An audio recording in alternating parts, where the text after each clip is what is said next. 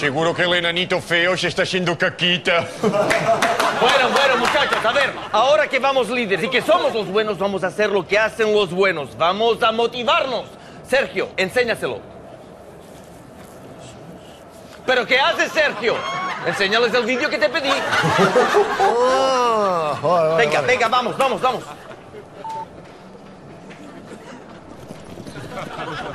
Sergio, ¿se puede saber qué es esto? Un vídeo hípico.